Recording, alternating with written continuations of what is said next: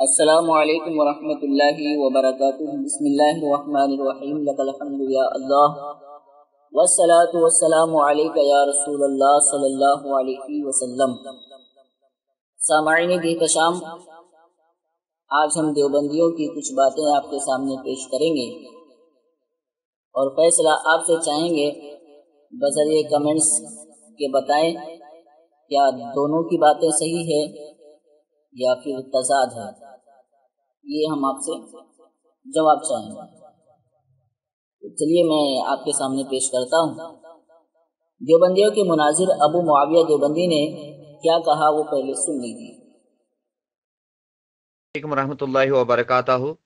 अभी नमाज़ में एक दो मिनट है, मैं पहली दलील जो आपके, आपको पेश करता चलूँ और आपके जो जरा थे वो उनके ऊपर मैं कलाम करता चलूँ।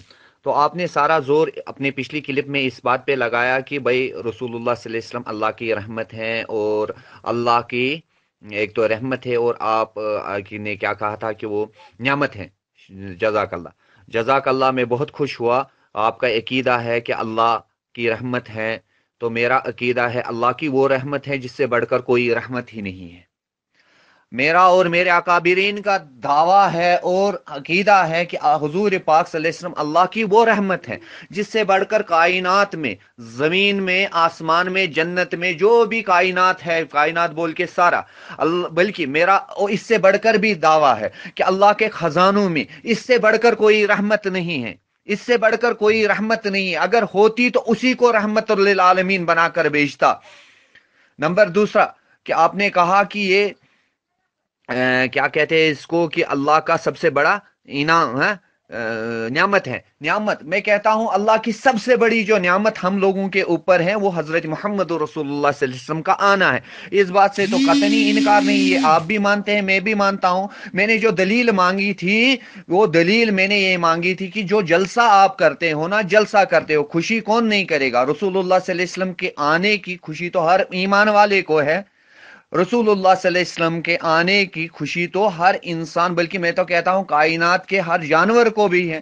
कायनात के हर जरिंद परिंद दरिंद को भी है। बुखारी शरीफ जैसा कि आपने सुना, देवबंदी मुनाजिर ने दौरान गुफ्तगु कहा, मेरा और मेरे अकाबरीन का दावा है, अकीदा है, हुजूर सल्लल्लाहु अलैहि वसल्लम अल्लाह की वो रहमत है, जिससे बढ़कर कायनात में कोई रहमत नहीं है।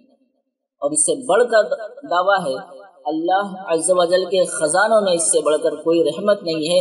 अगर होती तो इस पर तवज्जो से, तवज्जो करें। कहते हैं, अगर होती तो उसी को रहमतुल्लिल आलमीन बनाकर भेजता। देवबंदी मुनाजिर की इस बात से ये क्लियर हो गया, अल्लाह के खजानों में नबी सल्लल्लाहु अलैहि वसल्लम से बढ़कर कोई रहमत नहीं। अगर होती तो उसी को रहमतुल्लिल आलमीन बनाकर भेजता। ठीक है? अब आइए देवबंदियों के गौस आज़म कहे जाने वाले क्या कहते हैं? और देखते हैं, ये देवबंदियों की अपनी मुस्तनद व मोतबर किताब है, फतावा रशीदिया। फतावा रशीदिया में लिखा हुआ है, सवाल हुआ, लफ्ज रहमतुल्लिल आलमीन मखसूस हुजूर सल्लल्लाहु अलैहि वसल्लम से है या हर शख्स को कह सकते हैं। रशीद अहमद गंगोही ने जवाब लिखा, जवाब दिया, लफ्ज रहमतुल्लिल सिफत खास रसूल सल्लल्लाहु अलैहि वसल्लम की नहीं है, बल्कि दीगर अलिया अम्बिया और रब्बानीन भी मौजिब रहमत आलम होते हैं। अगरचा जनाब रसूलुल्लाह सल्लल्लाहु अलैहि वसल्लम सब में आला हैं लिहाजा अगर दूसरे को बतावील बोल दिए जाए तो जायज़ है। ठीक है?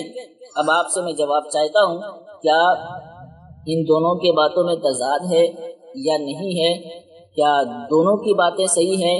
फिर या दोनों में से किसी की बात सही नहीं है? ये आपसे जवाब चाहता हूँ। आप कमेंट्स के ज़रिए जवाब अस्सलाम वालेकुम वरहमतुल्लाहि वबरकातुहू।